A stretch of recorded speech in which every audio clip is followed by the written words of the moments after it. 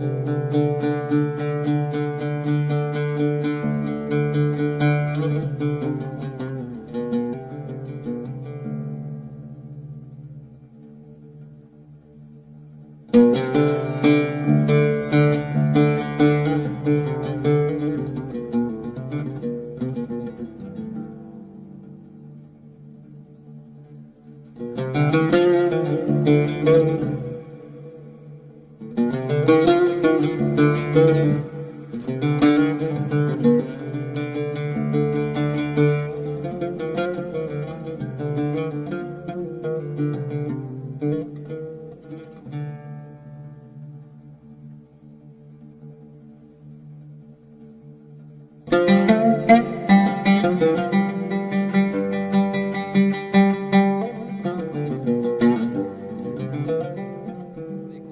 السلام عليكم ورحمة الله وبركاته. نحن اليوم أمام قصر تاريخي من آثار الطائف الجميلة في منطقة جميلة في وادي وج اللي هي منطقة جبرة بساتين غناء. اليوم معي أحد وكلاء الأشراف آل عون كافة في آه، آه، الأستاذ آه، تميم بن شاهر. آل عون. واقفين أمام قصر جبرة تاريخي. وإذا سمح لنا الوقت نخش نتجول داخله. آه، سيحدثنا عن لمن القصر هذا من صاحبته من الشريفة صاحبته وكيف تأجر وش أبوها. بسم الله. شريف الله. تميم. حياكم الله. طبعا آه، إحنا في منطقة جبرة وهي تقع في الجزء الشام الشمال الشرقي من الطائف. وطبعا جبرة آه، منطقة جميلة وغناء بالبساتين والحدائق الجميلة. وفيها قصر صراحة ت- يعتبر تحفة من يعني من أفضل قصور الطائف هو قصر جبرة. طبعا آه، المنطقة والبساتين تعود ملكيتها للملكة نفيسة بنت عبد الإله بن محمد بن عبد المعين بن عون. كان والد الملكة نفيسة أحد حكام الحجاز. اللي هو؟ اللي هو الشريف, عبد. الشريف عبد الإله باشا. إيه. طبعا حكم الحجاز بعد أخيه عبد الله باشا سنة 1294 لمدة عامين فقط ثم توفاه الله ثم أتى بعده الحسين الشهيد أخيه. آه، اشترى القصر هذا وال- والبساتين سنة 1300 واشتري هذا القصر سنة 1328 1328 قريب يعني مو بعيد. أيوه قريب إيه. قريب. آه، للملكة نفيسة. إيه. آه، كان عبارة عن ثلاثة بساتين وثلاثة ركبان. اللي هو- هو جبرة. نعم. إيه. هي كانت البساتين هنا تقريبا. إيه. البساتين أمام القصر من هنا نعم. لين الناحية الشمالية من القصر. نعم. نعم. إيه. وكانت عين الطائف آه، لهم وجبات محددة من من عين الطائف. من عين الطائف. نعم نعم. كان له وجبات معينة. طبعا اشتري اشتريت هذه المنطقة واشتر وكان مكان القصر آه، مبنى دار صغير. صغيرة. نعم دار صغيرة يمكن لجبرة من أول. إي نعم. يتكلموا اليوم لا لا لا وليس آه. الجبرة أي. عند الملاك السابقين. إيه ثم تم آه، صدور أمر ببناء ببناء قصر في في مكان الدار. يعني اللي بنى هذه آه، شريفة نفيسة أيوه نعم أيوه نعم امروا ببناء قصر للملكة نفيسة في اللي هو هذا القصر الآن اللي هو إيه. هو أمامنا هذا نعم القصر نعم آه، يعني طلع القصر بشكله النهائي هذا كان للملكة نفيسة إيه. بنت عبد الله باشا طبعا بعد ما عام؟ الأشراف بناؤه آه، آه، لا آه، البناء هو- اشتري عام 1328 28 وتم تطوير البناء. كان. عبارة عن دار صغيرة. دار صغيرة. وطوروا البناء وصار بهذا الشكل. هذا الشيء طبعا سنة 144 خروج الأشراف آه، كانت الملكة نفيسة زوجة الملك علي. علي الملك علي طبعا بن الحسين هو آخر آه، ملوك الحجاز. إيه. ولقبت بهذا اللقب لأنها ملكة زوجة الملك. زوجة الملك. فعندما خرجوا إلى العراق تم تأجير هذا القصر على ابن سليمان. إيه. واستاجروا ابن سليمان تقريبا قرابة آه، 99 عام. إيه. وثم صارت أحداث آه، يعني ابن سليمان زي ما تقول استحكم عليه إيه. وطلع الصك عليه. لكن الحمد لله رجعنا ودعينا في المحاكم وأخذنا حكم آه، شرعي على الشخص الذي اشترى من آه، بن سليمان. والحمد لله طبعا القصر آه، تم تسليمه لأمارة الطائف. والأرض الحمد لله رجعت لأصحابها وبدا اتفاق بيننا وبين من اشتراها من ابن سليمان. وهذه قصة القصر وهذه قصة البساتين جبرة. طبعا القصر تحفة معمارية سواء في البناء سواء في تخطيط الغرف سواء في الشرفات المفتوحة فيه. يعني قصر صراحة إذا استطعنا ندخل من جوا راح نشوف أشياء جميلة وعجيبة إن شاء الله. إن شاء الله. حياكم الله.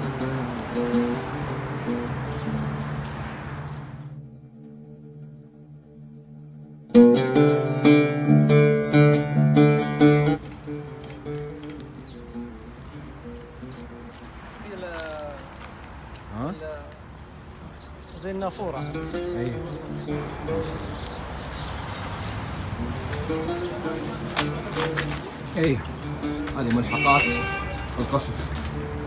واحواضه حوض آخر. هناك.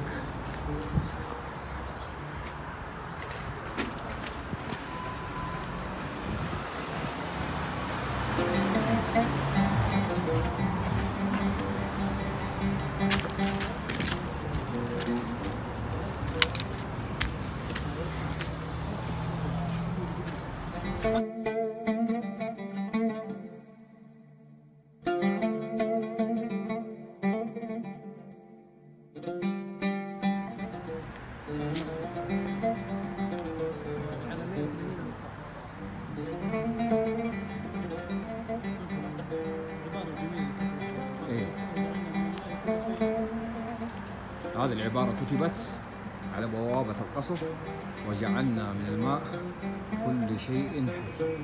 وجعلنا من الماء كل شيء حي. وهذا شعار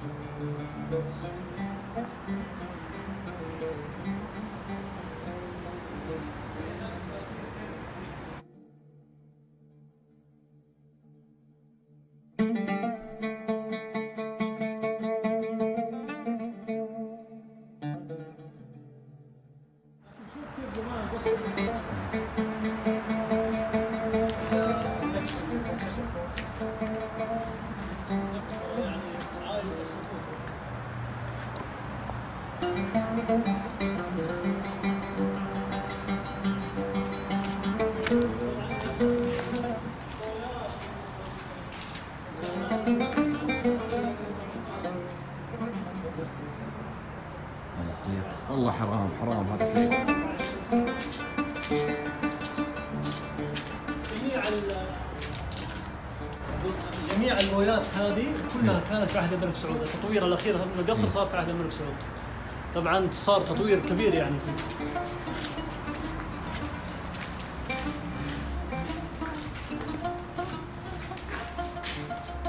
الدور الثاني هذا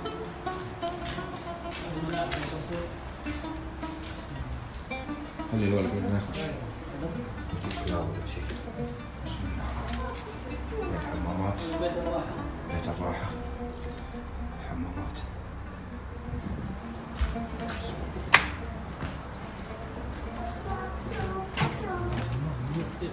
على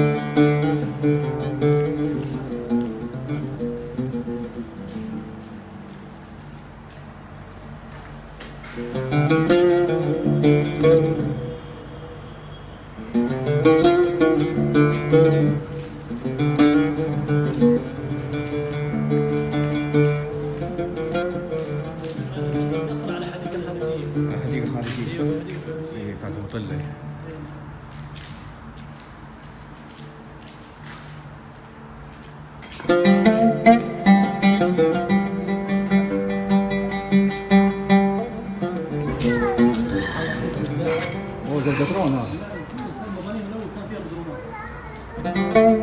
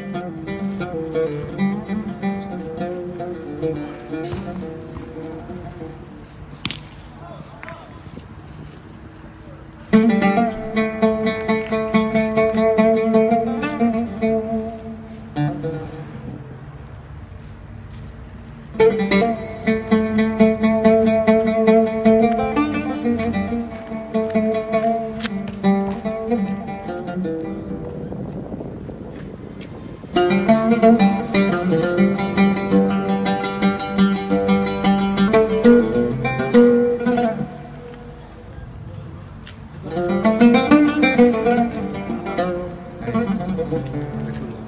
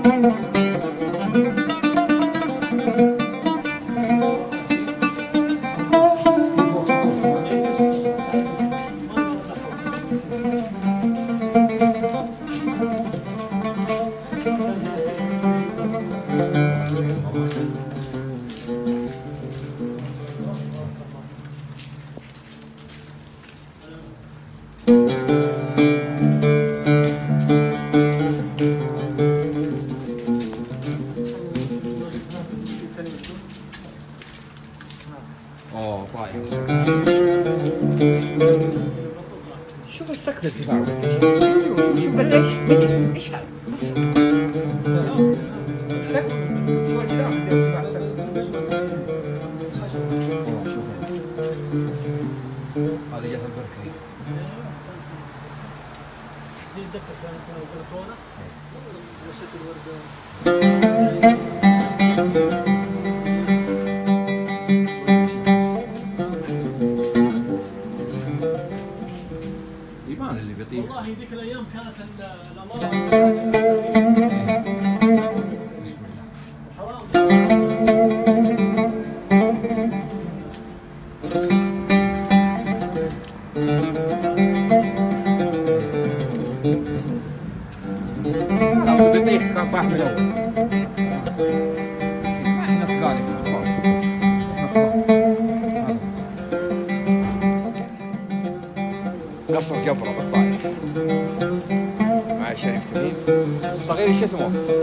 مش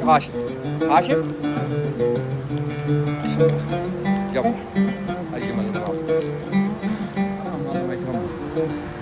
كيف يعني هذه هذه مساحة ال- القصر تبان من فوق. إيه.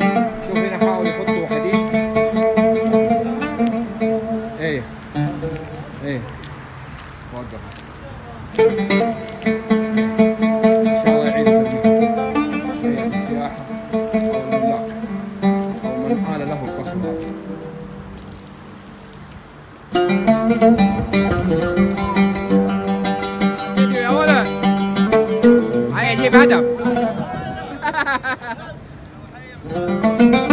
لا يكون اتحادية يا ابو القتيل